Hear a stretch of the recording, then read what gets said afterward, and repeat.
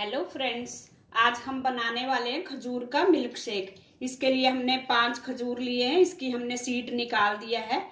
चीनी थोड़ी सी लेंगे अपने स्वाद के अनुसार। एक कप दूध और थोड़े से खजूर को काट लें। थोड़ा सा पिस्ता काटा हुआ हमने गार्निशिंग के लिए। डाल लेंगे, उसमें ये खजूर डाल देंगे। और इसमें एक चम्मच चीनी डालेंगे। चीनी आप अपने हिसाब से डाल लें जितना मीठा खाते हो, क्योंकि खजूर भी मीठे ही हैं। थोड़ा सा दूध डाल के इसको फाइन पेस्ट बनाना है हमने खजूर का। ये हमने खजूर का पेस्ट बना लिया अब इसको हम गिलास में डालेंगे। गिलास में पहले आइस क्यूब डाल दें और इसके ऊपर से ये खजूर का पेस्ट डाल दें सारा। इसके ऊपर से ठंडा दूध डाल देंगे और इसको अच्छी तरह से हमने फैट लेना है, चम्मच से मिक्स कर लें।